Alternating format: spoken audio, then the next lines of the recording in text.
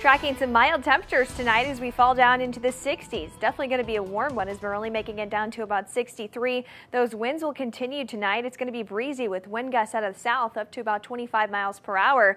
Tomorrow is just as warm. I'm tracking some high cloud cover, so that could limit the temperatures from getting above 84 or 85. But it's definitely going to be a much warmer than average day as we climb throughout the afternoon. Cloud cover will continue to build towards tomorrow afternoon, but it's definitely going to be another windy day.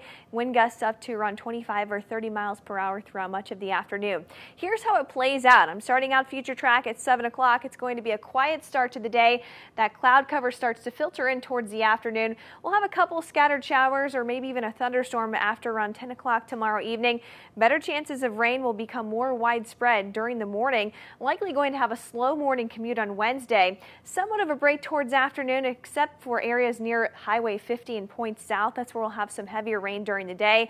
Another push of showers and thunderstorms moves through in the evening, and that will still bring some heavy downpours at times. Now, by Thursday morning, most of this will be clearing out and we'll be left with some drier and cooler temperatures.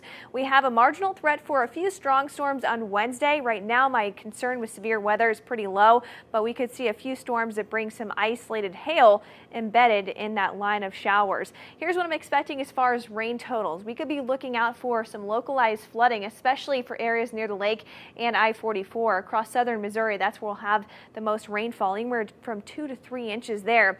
Up towards I-70 and points north, anywhere from one to two inches with this system, but thankfully we'll be clearing out just in time for Friday and the weekend. Lots of sunshine. Temperatures are going to be great to get outside. Hopefully you can spend some time in that sunshine, mid to upper 70s on both days. I'm expecting things to stay dry. Here's my seven day forecast. We'll be getting cooler with this rain in the area, especially by Thursday as our front completely moves through the area. We'll be dropping into the upper 60s, clearing things out for Friday with more sunshine and ending the weekend with highs in the mid to upper 70s.